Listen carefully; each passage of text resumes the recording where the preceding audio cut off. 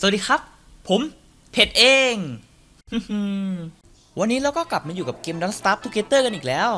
แต่เรื่องที่ผมจะพูดในครั้งนี้นั้น ไม่ใช่เกมเพลย์แต่เป็นเนื้อเรื่อง หลายคนอาจสงสัยว่าเกมนี้มันมีเนื้อเรื่องด้วยเหรอคำตอบก็คือมีครับ แถมมีเยอะด้วย โดยเนื้อเรื่องของเกมนี้จะมาจาก 3 ส่วนหลักๆนะครับ ส่วนแรกก็คือมาจากภายในเกม บทพูดของตัวละคร และรายละเอียดภายในเกม โดยตัวละครแต่ละตัวเนี่ยเวลากดสำรวจสิ่งของก็จะมีบทพูดเป็นของตัวเอง ซึ่งจะเป็นประโยคสั้นๆ แล้วก็ต้องตีความเนื้อเรื่องต่อเอาเอง อย่างที่ 2 ก็คือวิดีโอ trailer เกมเวลาเกมมีอัปเดตอะไรใหม่ๆ ก็จะมี trailer เกมออกมาด้วย บางคลิปก็มีเนื้อเรื่อง บางคลิปก็ไม่มี อย่างที่ 3 ภาพที่ผู้พัฒนาปล่อยมาทางเว็บไซต์หลัก บางครั้งก็ปล่อยภาพออกมาเฉยๆ บางครั้งก็มีมินิเกมมาด้วย อันนี้แล้วแต่ทางใจผู้พัฒนาเลย เนื่องจากบางครั้งเราต้องตีความเนื้อเรื่องจากภาพ บางทีอาจจะไม่ตรงตามที่ผู้พัฒนาต้องการก็ได้ ขึ้นอยู่กับการตีความของแต่ละบุคคลเลย แน่นอนคลิปที่ผมเล่าอยู่ตอนนี้ก็อาจจะผิดก็ได้ มันเป็นเพียงทฤษฎี เอาละครับก่อนจะเข้าเรื่องกัน ผมก็ขอขอบคุณช anel YouTube ที่ผมไปเอาข้อมูลบางส่วนมาจากเขาด้วยนะครับ ขอบคุณครับในการเล่าเนื้อเรื่องของผม ขอแบ่งเป็น 2 ช่วงนะครับ โดยจะเล่าเนื้อเรื่องโดยรวมก่อน แล้วค่อยเล่าแบบลงรายละเอียดอีกที เริ่มมาที่เนื้อเรื่องโดยรวม เรื่องมันมีอยู่ว่า ในโลกแห่งหนึ่งถูกแบ่งออกเป็นหลายอารยธรรมไม่เกี่ยวข้องกัน โลกแห่งนี้มีชื่อว่า The Constant แต่ผมขอเรียกโลกนี้ว่าโลก Don't Starve นะครับ เมื่อนานมาแล้วมีชนเผ่าโบราณอาศัยอยู่ พวกเขามีรูปร่างเหมือนแมลง เขาก็เหมือนเราในเกม อยู่อย่างอดอดๆอยากๆหน้าหนาวพืชก็ปลูกไม่ได้ตายหา หน้าร้อนก็ร้อนจนหน้าสั่นผ่านไหมเขาก็เลยตัดสินใจลงมาที่ถ้ำใต้ดิน โดยถ้าเราดูจากภาพเนี่ยดูเหมือนว่าจะมีราชากับราชินีปกครองอยู่ โดยทางราชาเนี่ยจะถือพลังแห่งความมืด และราชินีถือพลังแห่งแสงสว่าง โดยทั้งคู่น่าจะได้พลังมาจากไอ้แท่งกลมๆนี่แหละ ภาพต่อมาเนี่ยดูเหมือนว่าทางเมืองจะพัฒนาขึ้น มีการให้ความรู้ มีเทคโนโลยี การป้องกันตัว อาหาร ทุกอย่างเป็นไปได้ด้วยดี แต่ทางด้านราชินีที่ถือพลังแห่งแสงนั้นกลับอ่อนแรงลงเอื้อสุด ภาพต่อมา พลังความมืดเริ่มแผ่ขยายจนเกินควบคุม ประชากรเริ่มล้มป่วย ราชินีใช้พลังแห่งแสงสู้อย่างสุดกำลัง ส่วนราชาก็สุดพราะมาคนอื่น ภาพสุดท้าย ราชาได้สติกลับคืนมา เสียใจกับทุกคนที่จากไป โดยคนที่จากไปนั้นอาจจะไม่ตายก็ได้ เพราะจากบทพูดตัวละครหลาย ๆ ตัวบอกว่า พวกเขาละทิ้งผิวหนังออกไป ทางด้านสิ่งก่อสร้างกลม ๆ ก็แตกออกเป็นบางส่วน ซึ่งมันก็คือ Ancient Gateway ในปัจจุบัน ราชินีโดนความมืดเข้าครอบงำ สุดท้ายอาณาจักรก็ล่มสลาย แต่ถ้าดูรูปภาพดีๆแล้ว ราชากับราชินีก็ยังไม่ได้ตาย แถมมีผู้คนบางส่วนละทิ้งผิวหนังไปอีก มีความเป็นไปได้ว่าชาวเผ่าโบราณที่ละทิ้งผิวหนังนั้น กลายเป็นปีศาจเงา ส่วนราชานั้นคาดว่ากลายเป็น Ancient Fuelweaver ส่วนรายละเอียดนั้นจะเล่าท้ายคลิปต่อ ตัดภาพมาที่ปัจจุบัน ชายที่ชื่อว่าวิลเลียมคาร์เตอร์กำลังเดินทางมาจากประเทศอังกฤษ มาประเทศสหรัฐอเมริกา ต่อมาเป็นโปสเตอร์แสดงมายากลของชายที่ชื่อว่าวิลเลียมคาร์เตอร์แต่ใบหน้าของเขาถูกขีดเขียนอยู่ ต่อมาเป็นข่าวรถชนของวิลเลียมคาร์เตอร์ในข่าวบอกว่าไม่เจอศพ คาดว่าน่าจะเสียชีวิต ต่อมาเป็นภาพของแม็กเวล the Great และใบรับสมัครผู้ช่วย โดยแม็กเวลนั้นก็น่าจะเป็นวิลเลียมคาร์เตอร์นั่นแหละแค่เปลี่ยนชื่อ ดูสิคางยังยาวเหมือนเดิมเลย เขาเริ่มศึกษาพลังของโลก Don't Starve ทั้งอุปกรณ์เวทมนต์ความรู้ต่างๆ แล้วก็ปีศาจเงา ถ้าเราสังเกตกระดาษ กระดาษจะดูเหมือนถูกดึงขาดออกมาจากหนังสือ รูปที่แล้วก็มี หนังสือที่คาดว่าน่าจะมีเรื่องเหล่านี้เขียนอยู่ ก็คือหนังสือโ o เด็กอัมบลาหนังสือประจำตัวของแม็กเวลนั่นเอง รายละเอียดเกี่ยวกับหนังสือนั้น เดี๋ยวผมมาอธิบายเพิ่มเติมในส่วนของเนื้อเรื่องของตัวละครแม็กเวลภาพต่อมาคือภาพโปสเตอร์การแสดงของแม็กเวลกับผู้ช่วยของเขาชาลี พร้อมกับจดหมายของชาลีที่เขียนใจความประมาณว่า เมื่อคืนเราแสดงโชว์ได้เยี่ยมไปเลย ต่อมาเป็นภาพชุดเหตุการณ์ที่ชาลีมาหยิบอุปกรณ์การแสดงให้แม็กเวล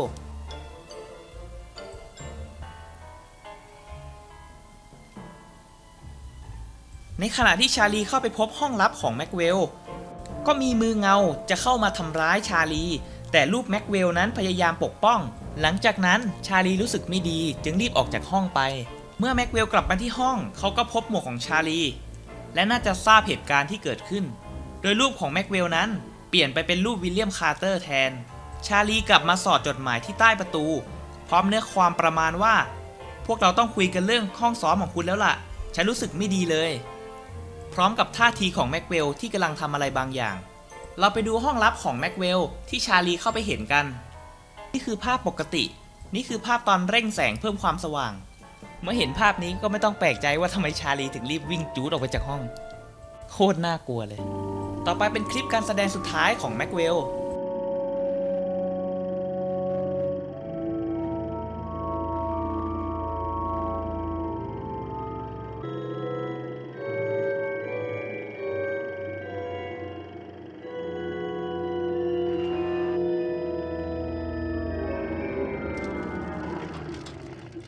สุดท้ายแล้ว แม็กเวลกับชาลีก็ถูกมือมืดดึงเข้าไปในเกม Don't Starve ในเวลาต่อมาได้มีนักวิทยาศาสตร์กำลังทดลองอะไรบางอย่าง แต่ก็พบกับความล้มเหลว โดยนักวิทยาศาสตร์คนนี้ชื่อว่าวิลสัน ทันใดนั้นก็มีเสียงปริศนาดังขึ้นมาจากวิทยุ ซึ่งเสียงนั้นบอกจะให้ความรู้และวิทยาการ ซึ่งแน่นอนชายผู้นั้นไม่ปฏิเสธ เมื่อเขาได้รับความรู้แล้ว เขาก็ไม่รีรอที่จะสร้างมันขึ้นมา แต่เมื่อถึงตอนเปิดเครื่อง ก็ทำให้รู้ว่าเขาโดนหลอก สร้างประตูวาร์ปขึ้นมา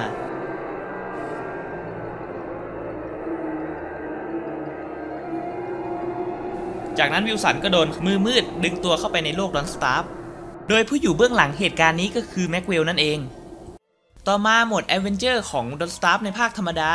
จะเป็นโหมดเนื้อเรื่อง หลังจากที่เราผ่านด่านทั้ง 5 ด่านมาได้แล้ว ในด่านสุดท้ายเราจะได้พบกับแม็กเวลซึ่งดูเหมือนว่าเขาจะถูกตรึงไว้กับบัลลังก์ พร้อมทั้งเปิดเพลงแร็กไทม์ทั้งวันทั้งคืน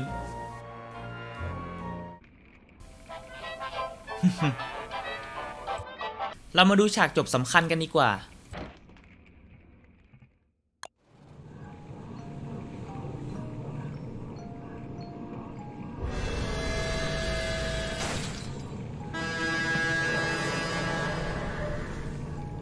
หลังจากที่เราปลดปล่อยแม็กเวลออกจากบัลลังก์เขาก็กลายเป็นฝุ่น และก็เป็นเราเองนี่แหละที่ติดกับบัลลังก์แทน เอวัง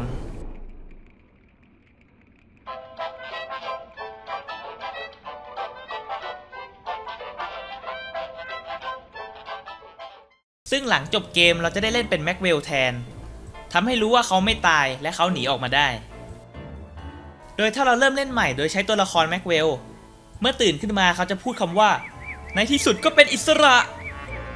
โดยหลังจากนั้นก็มีเหตุการณ์นี้ต่อ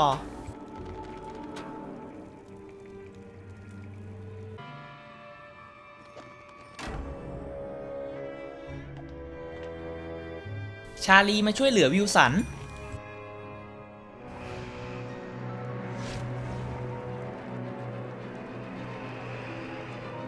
แต่ด้านมืดก็เข้ามาครอบงำและทำร้ายวิลสัน วิลสันถูกส่งไปที่โลกดอนสตาร์ตามเดิม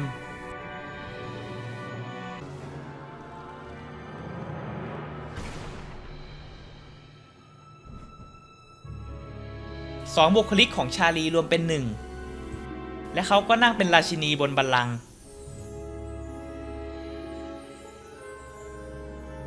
ต่อไปเป็นภาพเล่าเรื่องราว โดยภาพพวกนี้เป็นกิจกรรมที่ทำแล้วได้สกิน torch ฟรี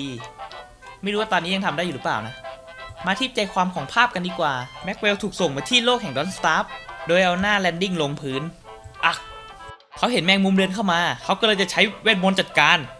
ปุ๋ย เวทมนตร์ไม่ออก เขาก็เลยต้องวิ่งหนี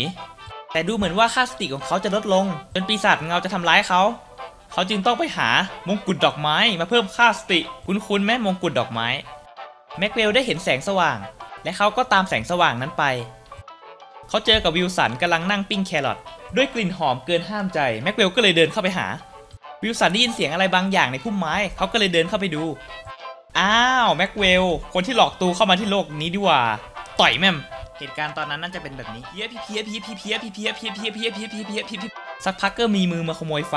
โอ้ชิบหายไฟดับ วิ่งวิ่งอู้เซฟทั้งคู่กลับมานั่งกองไฟด้วยกัน แต่ก็ไม่มีบทสนทนาใดๆเกิดขึ้น นานวันแล้ววันเล่าจนวิลสันเข่างอกคิดเดียวสุดท้ายวิลสันก็เปิดใจแบ่งเคบับให้แม็กเวลกิน แต่เอ๊ะเคบับในเกมทำยังไงนะ วิธีทำเคบับในเกมนั้นไม่ได้ยากเลย วัตถุดิบหลักคือเนื้อสัตว์กับกิ่งไม้ โดยวัตถุดิบที่เหลือ 2 อย่างนั้นจะใส่อะไรก็ได้ ที่ไม่ใช่กิ่งไม้กับเนื้อสัตว์ จะใส่น้ำแข็งก็ได้ จะใส่เห็ดก็ได้ จะใส่เบอร์รี่ก็ได้ แค่นี้เราก็ทำเคบับได้แล้ว เย่กลับมาที่เนื้อเรื่องต่อ หลังจากที่วิลสันแบ่งเคบับให้แม็กเวลแล้วเขาก็ถามแม็กเวลว่า เอ็งสลายกลายเป็นฝุ่นไปแล้วไม่ใช่เหรอแม็กเวลก็ปฏิเสธว่าเขาไม่ได้ตายแม็กเวลถามกลับว่าเอ็งติดอยู่กับบัลลังก์ไม่ใช่เหรอวิลสันก็ตอบว่ามีชาลีมาช่วย ภาพต่อมาแม็กเวลหยิบ blueprint ขึ้นมาอ่าน แต่วิลสันไม่ยอมแม็กเวลก็เลยบอกว่าเอาน่าเชื่อใจฉันหน่อยแม็กเวลได้ใช้ความรู้จากหนังสือ Codex Umbra ทั้งคู่กำลังสร้างอะไรบางอย่าง สิ่งนั้นก็คือประตูวาร์ปทำไมเรายังไม่วาร์ป ไม่ใช่แล้วโดยประตูนี้ไม่ใช่วาร์ปคนออกไป แต่เป็นวาร์ปคนเข้ามา เสร็จแล้วประตูวาร์ปที่ทั้งสองคนสร้างขึ้นก็พัง และถูกสร้างใหม่โดยชาลี และนี่ก็เป็นเนื้อเรื่องเข้าสู่ภาคเกม Don't Starve Together ต่อไปนี้เป็นวิดีโออัปเดตของใหม่ๆ ในเกม Don't Starve Together แต่ผมจะคัดมาให้ดูเฉพาะอันที่น่าจะมีผลเกี่ยวกับเนื้อเรื่องนะ คลิปแรก คลิปโปรโมทเกม Don't Starve The Fog จะเห็นว่าเหล่าผู้เอาชีวิตรอดกำลังใช้งาน Ancient Gateway เมื่อเปิดใช้งานตัว Ancient Gateway จะวาร์ปคนไปมิติอื่น และช่วงท้ายคลิปชาลีกำลังทำอะไรบางอย่างกับ Ancient Gateway ต่อมาเป็นคลิปอัปเดต Don't Starve Together Return of Them ส่วนหนึ่งของพระจันทร์ตกลงมาที่โลก เกิดเป็นโซนใหม่เกาะพระจันทร์ โดยตัวเกาะพระจันทร์นั้นมีอะไรน่าสนใจหลายอย่าง เดี๋ยวผมจะลงรายละเอียดอีกที แล้วกลับมาที่รูปภาพเหล่านี้กันดีกว่า ภาพเหล่านี้ตัวละครในเกมก็เห็นเหมือนกับเรา โดยส่วนใหญ่แล้วตัวละครก็จะพูดทำนองเดียวกับที่ผมกล่าวมา แต่มี 2 ตัวละครที่กล่าวได้น่าสนใจ นั่นก็คือแม็กเวลกับโวท็อกในรูปที่2โวท็อกพูดว่า พวกเขาไม่น่าใช้เวทมนต์มากเกินไป จากคำพูดของโวท็อกน่าจะทำให้เราทราบว่าโวท็อกรู้จักเวทมนต์พวกนี้มาก่อนในรูปเดียวกันแม็กเวลพูดว่ามันไม่ได้ผล เหมือนเขาจะรู้ผลลัพธ์ต่อไปว่า เมืองนี้จะต้องล่มสลาย ในรูปที่ 3 แม็กเวลพูดว่าพวกเขาได้รับพลังอิจฉา ซึ่งตอนแรกผมก็งงๆว่าแม็กเวลไปอิจฉาเขาเหรอ แต่ไม่ใช่ มันชื่อพลังอิจฉา เพราะเขาใช้คำว่าแอน ส่วนวอท็อกพูดว่ามันน่าจะดีขึ้น ซึ่งผู้รอดชีวิตคนอื่นบอกว่าชิบหายแน่นอน แต่ทำไมวอท็อกถึงพูดว่ามันจะดีขึ้นล่ะ หรือเขารู้วิธีใช้พลังเหรอ รูปที่ 4 รูปสุดท้ายแม็กเวลพูดว่าฉันรู้ว่าทำไมคุณพาฉันมาที่นี่ ซึ่งอันนี้ผมก็ไม่รู้ว่าแม็กเวลกำลังคุยกับใครกำลังคุยกับชาลีอยู่เหรอ หรือมีบุคคลที่ 3 อื่นอีก อันนี้ผมก็ไม่แน่ใจ ปัจจุบันนั้น ผมคาดว่าตัวราชากลายเป็น Ancient f i e l Weaver ซึ่งเขาจะปกป้องไม่ให้เราเปิด Ancient Gateway เพราะกลัวจะซ้ำรอยกับตัวเองในอดีต ในตอนที่เราสู้กับเขา เขาก็ได้พูดอะไรที่น่าสนใจหลายอย่าง ตอนต่อสู้ ฉันจะช่วยคุณ นี่คือสิ่งที่ดีที่สุด พวกเขากำลังมา มันไม่สามารถหยุดได้ ตีความง่ายๆก็คือ มีบางสิ่งที่ทุกข์ทรมานยิ่งกว่าความตายเสียอีก ก็คือสภาพของเขาและพวกพ้อง โดยเป็นผลมาจากใครบางคน ซึ่งไม่น่าใช่ชาลี เพราะชาลีเพิ่งมา ต่อไปบทพูดบอสตอนใช้ท่าคุมสมอง คุณไม่สามารถชนะ ปกป้องฉัน ขอพลังให้ฉันอีกครั้งหนึ่ง โดยคำพูดนี้จะตรงกับทฤษฎีที่ว่าประชาชนกลายเป็นปีศาจเงา เพราะเขาก็แค่สั่งประชาชนของเขามาช่วยสู้ ต่อไปบทพูดบอสตอนที่เราแพ้ และบอสกำลังเดินไปปิดประตู ฉันจะช่วยพวกเราสาบแช่งชื่อมัน เอามันกลับมา Metheus เอามันกลับมา พวกนั้นเอาอะไรของเขาไป Metheus คำนี้น่าสนใจ เพราะคำนี้ถูกใช้เป็นชื่อ puzzleที่เมื่อเราทำแล้วจะปลดล็อกสกินไม้เท้า Walking Cane ซึ่งลายสกินนั้นคล้ายกับคทาที่ราชาในอดีตถืออยู่ ซึ่งตอนนั้นที่นั่งทำ puzzle นะจำได้ว่าแบบโคตรยากเลย แล้วก็โคตรวุ่นวายเลย เพราะมันต้องทำสองคนกับเพื่อน แถมปริศนาก็ถูกสุ่มใหม่ตลอด จะเปิดหาเฉลยก็ไม่ได้ แบบโอ้ปวดหัว ต่อไปบทพูดตอนเราชนะ โง่ แกเลือกเองนะ แก แกเป็นใคร แกไม่ใช่พวกมัน บอสตัวนี้กำลังปกป้องเราจากอะไรบางอย่าง ซึ่งแน่นอนถ้าเราไปฆ่าผู้หวังดีก็โดนด่าเช็ดอยู่แล้ว ส่วนคำพูดที่ว่าคุณเป็นใครกับไม่ใช่พวกมัน ก็น่าจะพูดถึงชาลี เรามาดูของที่ดรอปจากบอสตัวนี้กันดีกว่าโบนเฮมเมื่อใส่แล้วค่าสติจะเหลือศูนย์แต่ปีศาจเงาจะไม่ทำร้ายเรา น่าจะเป็นตัวยืนยันทฤษฎีที่ว่าประชาชนคือปีศาจเงา และราชาคือ Ancient f i e l Weaver ตะเกียงกำยาน เมื่อถือไว้ปีศาจโครงกระดูกจะไม่ทำร้ายเรา แต่จะเดินตามเรามาแทน ข้อสังเกตบทพูดของตัวละคร ตัวละครแต่ละตัวจะรับกลิ่นจากตะเกียงต่างกัน เช่นวิลสันได้กลิ่นสารเคมี วิลโลได้กลิ่นเส้นผมไหมแม็กเวลได้กลิ่นกุหลาบ วิโดนาได้กลิ่นเบนซิน เกาะกระดูก ป้องกันการโจมตีทุก 5 วินาที แม็กเวลกล่าวว่าของชิ้นนี้โหยหาเชื้อเพลิงตลอดเวลา อย่างสุดท้ายดอกกุหลาบหนึ่งดอก โดยดอกกุหลาบนั้นเป็นตัวแทนของชาลี หรือว่าเถาวันตอนท้ายที่ดึงบอสลงไปนั้นจะเป็นฝีมือของชาลีอู้เป็นไปได้ หลังจากที่เราสู้บอส Ancient Field Weaver จบ Ancient Gateway ก็สามารถเปิดใช้งานได้ เสร็จแล้วก็มีคลิปตัวอย่างวิดีโอนี้ออกมา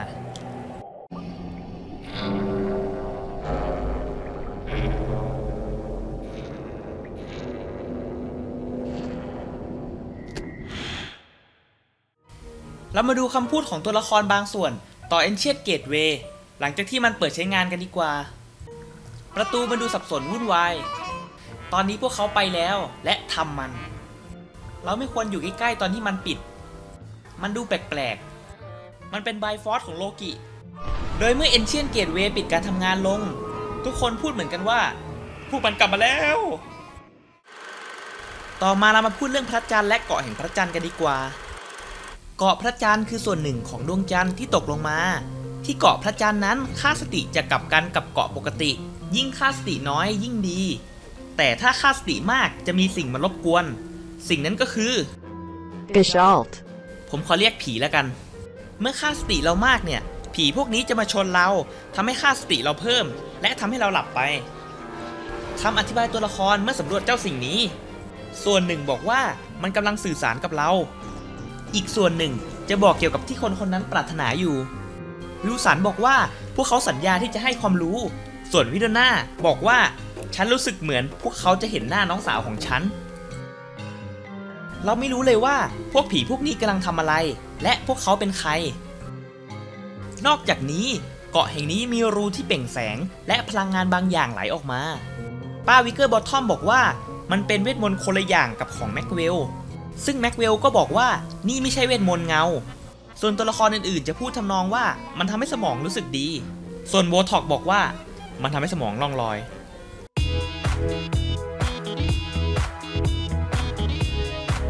พอพอซึ่งเวทมนต์บนเกาะพระจันทร์นี้จะตรงข้ามกับเวทมนต์เงา เวทมนต์เงายิ่งใช้สมองก็ยิ่งลด เวทมนต์พระจันทร์ยิ่งใช้สมองยิ่งเพิ่ม แถมลอยได้อีก และอีกอย่างที่เกาะแห่งนี้ไม่มีปีศาจเงา ซึ่งเป็นไปได้ว่าพระจันทร์คือสิ่งต่อต้านพวก Nightmare Fuel เรามาพูดถึงผลกระทบ และปรากฏการณ์เมื่อพระจันทร์เต็มดวงต่อกันเลยดีกว่า เมื่อพระจันทร์เต็มดวง หมูทุกตัวในเกมจะกลายเป็น werepig ยกเว้น Pig King เขายังคงนอนหลับตามปกติ โดย werepig เป็นหมูดุร้ายจะทำร้ายสิ่งมีชีวิตทุกตัวที่เข้าใกล้มัน พวกมันจะวิ่งไล่ฆ่าและกิน พวก werepig จะกลับกลายเป็นหมูปกติเมื่อถึงเวลาเช้าอีกวันหนึ่งอันนี้ก็ไม่รู้เหมือนกันว่าพวกหมูเกี่ยวข้องกับพระจันทร์ในรูปแบบไหน เพราะหมูธรรมดาก็กลายเป็น werepig ได้เมื่อกินเนื้อ monster และก็ไม่รู้เหมือนกันว่าทำไม Pig King ถึงไม่แปลงร่าง เมื่อนำคาถา Star Caller Staff มาวางไว้บนแท่น Moonstone คทานั้นจะถูกชาร์จพลัง กลายเป็น Moon Caller Staff ในระหว่างนั้นจะมี werepig กับหมาป่า จะเข้ามาทำลาย Moonstone เมื่อนำคาถา Moon Caller Staff มาแยกชิ้นส่วนโดยใช้คทา Deconstruction Staff จะได้ Iridescent Gem หรือชื่อไทยคือ gem สีรุ้ง เมื่อเราเอา gem นี้ไปใส่บอสปู จะมีค่าเท่ากับการใส่ gem ทุกสี ก่อนที่เราจะสู้กับบอสปูนั้น เราจะต้องใส่ gem บนบอสปู บอสปูจะมีพลังแต่ละอย่างเพิ่มขึ้น ตามสีของ gem ที่เราใส่ลงไป โดยเมื่อเราใส่ gem สีรุ้งไปนั้น จะมีค่าเท่ากับการใส่ gem ทุกสีอย่างละ 1 เม็ด หรือก็คือ gem นี้มีพลังของ gem ทุกสีรวมกันอยู่ ข้อสังเกตนิดนึงเกี่ยวกับ gem เกมนี้จะมีสี gem ตามสีรุ้ง โดยสีครามกับสีน้ำเงินนั้นเขานับรวมกัน นี่คือหน้าตาของ gem แบบใกล้ๆ กลับมาที่เรื่องพระจันทร์เต็มดวง เมื่อพระจันทร์เต็มดวง จะมี Glommer ปรากฏตัวออกมาจากรูปปั้น Glommer โดย Glommer นั้นเป็นสัตว์ไม่กี่ตัวในเกม ที่มีเนื้อ monster ในตัว แต่ไม่ทำร้ายเรา Glommer เป็นสัตว์ที่มีความไร้เดียงสาสูงมาก เมื่อฆ่ามันKrampus จะออกมาทันที เมื่อพระจันทร์เต็มดวงวูดดี้จะกลายร่าง โดยวูดดี้บอกว่าเขากลายร่างได้เพราะโดนคำสาปคำสาปนี้ผมว่าน่าสนใจมาก เพราะปัจจัยที่ทำให้วูดดี้กลายร่างนั้น เหมือนพวกหมูมาก ทั้งเรื่องแปลงร่างเมื่อถึงพระจันทร์เต็มดวง ทั้งแปลงร่างได้เมื่อกินเนื้อ monster ซึ่งไม่ว่าเขาจะกลายร่างเป็น monster ตัวไหน พวก werepig ก็จะไม่ทำร้ายเขา เปรียบเสมือนว่าเขาเป็นพวกเดียวกัน และเขามีคำพูดที่น่าสนใจ เมื่อเขาสำรวจของบนเกาะพระจันทร์ พวกเราเชื่อมต่อกัน เชิญฉันใช่หรือเปล่า ผมว่าวูดดี้ต้องมีอะไรเกี่ยวข้องกับดวงจันทร์แน่ๆ เราพูดถึงคืนพระจันทร์เต็มดวงกันแล้ว เรามาพูดถึงคืนเดือนดับกันบ้างดีกว่า เมื่อถึงคืนเดือนดับรูบนดวงจันทร์นั้นจะไม่ปล่อยแสงอะไรเลย แล้วก็ไม่ให้ออร่าเพิ่มค่าสติด้วย และคืนเดือนดับนั้น เป็นคืนเดียวที่สามารถเรียกบอสเงาทั้งสามตัวออกมาได้ เรื่องสุดท้ายที่ผมจะพูด เป็นอัปเดตใหม่ล่าสุด นั่นคือป้าเพลกับบอสปู ป้าเพลส่งขวดบรรจุจดหมายมากมาย เพื่อจะตามหาบอสปู หลังจากที่เราช่วยเธอให้ของอะไรต่างๆ มากมาย จนค่าความสนิทสูงที่สุด เธอจะให้ไข่มุกมา ตัวละครส่วนใหญ่ก็รับปากว่าจะดูแลอย่างดีเสร็จแล้วเมื่อเราเอาไข่มุกนี้ไปใส่ที่บอสปู และเราสามารถเอาชนะได้ ข่มุกนี้จะแตก ทุกคนเสียใจกับสิ่งที่เกิดขึ้น เมื่อนำไปคืนป้า ป้าจะบอกว่า ฉันคิดว่าตอนนี้ฉันเข้าใจแล้ว และกล่าวขอบคุณเรา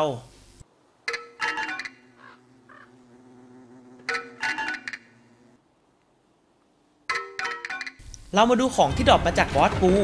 ซึ่งน่าจะมีผลต่อเนื้อเรื่องต่อไปแน่ ๆ ของสิ่งนี้ยังปรากฏตัวในตัวอย่างอัปเดตครั้งล่าสุดครั้งนี้อีกด้วย นั่นก็คือ Celestial Tribute ของสิ่งนี้เมื่อเราเก็บกู้มาได้และกดสำรวจ ตัวละครส่วนใหญ่บอกว่าจะพากลับบ้าน หรือพาไปส่งที่ที่ควรจะอยู่ แม็กเวลบอกว่านี่เป็นพลังงานอันทรงพลัง และเขาเคยเห็นสิ่งนี้มาก่อน หลังจากนั้นเราก็เอาสิ่งนี้ไปใส่ในที่ที่ควรจะอยู่ นั่นก็คือ หลุมที่ปล่อยแสงบนเกาะพระจันทร์ เมื่อเรานำมาใส่และให้ตัวละครกดสำรวจ ตัวละครก็จะบอกว่ายังไม่ถึงเวลา และต้องรออะไรบางอย่าง ซึ่งเราก็ต้องรอในเรื่องในอัปเดตครั้งถัดไป ว่าต่อไปจะเกิดอะไรขึ้นกันแน่ ก็จบแล้วครับกับในเรื่องเกม Don't Starve และ Don't Starve Together ก็อย่างที่ผมบอกตั้งแต่ตอนแรกนะครับว่าในเรื่องที่ผมเล่ามีจริงบ้างเดาบ้าง จับนู่นจับนี่มาโยงๆกัน ในเรื่องอาจจะไม่ถูกต้องร้อยเปอร์เซ็นต์ก็ได้ แต่ผมก็อยากเล่าเนื้อเรื่องให้ทุกคนเข้าใจ ไม่ว่าจะเป็นคนที่เล่นเกมหรือไม่เล่นเกมก็ตาม สุดท้ายแล้วผมขอบอกว่า เกมในเรื่องโคตรเทพและเกมเพลย์โคตรมันราคาแค่ 239 บาทเองล่ะ